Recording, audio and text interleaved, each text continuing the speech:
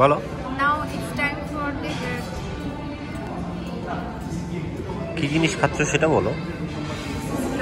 Chocolate মুস cake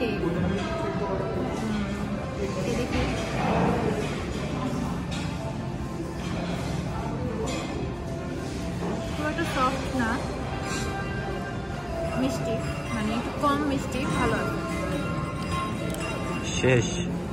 কেকটা তো অবশ্য ইয়া হয় না। কেক তো নরম হয় আমি যতদূর জানি নাকি?